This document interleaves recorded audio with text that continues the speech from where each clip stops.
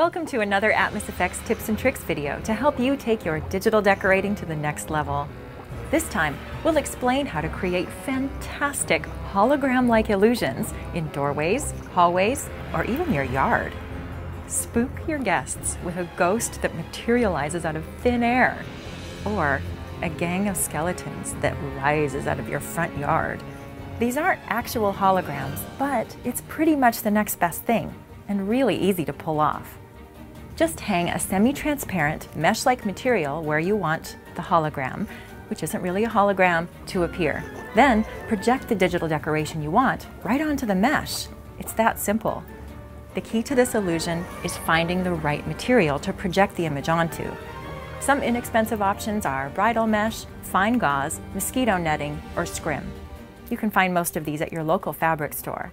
I suggest you bring a flashlight with you to the store to test out some different fabrics. If the clerks give you funny looks, just tell them you're a Halloween fan. They'll understand. You'll get an idea of how well the material will handle projection just by shining the light through it. Look for material that preserves the sharpness of the beam. Some fabrics disperse the beam too much across the surface and create a blurry blob of light. You don't want a blurry blob. Or if the weave of the mesh isn't tight enough, it won't catch the light at all. It's also important that the material's fairly see-through because it's an illusion and you don't want your guests to know it's even there.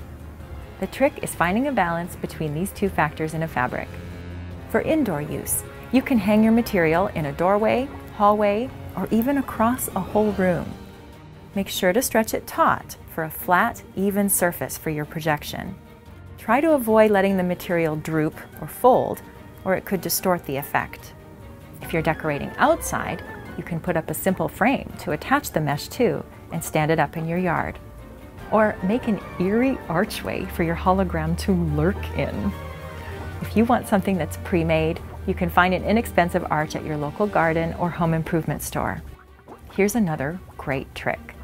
Run transparent fishing line between two mounting points in your yard, like trees, swing sets, or fence posts. Then hang your mesh from that. When your mesh is finally set up, it's time to position your projector.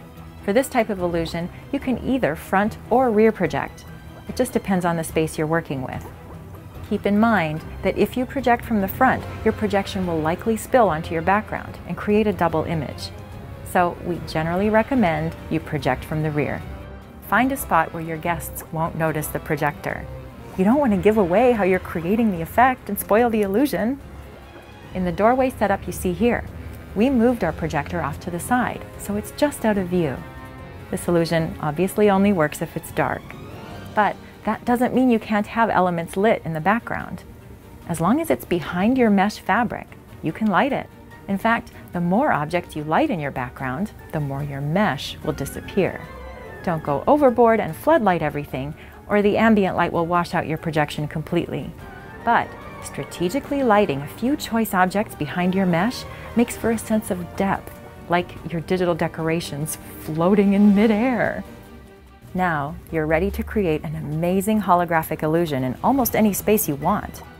For more about using projectors, check out our first tips and tricks video called Window Projections. It covers all the basics and what to look for when you're buying a projector.